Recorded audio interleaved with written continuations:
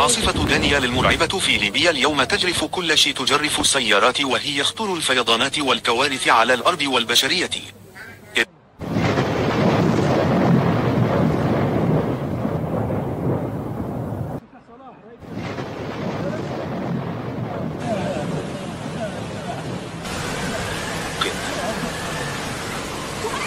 فجأة دوا صوت هدير هائل من بعيد.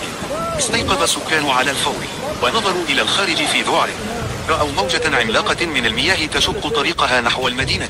لم يكن لدى السكان وقتا للهروب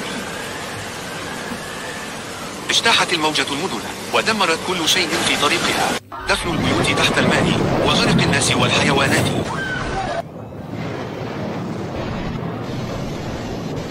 كانت تلك مجرد واحد.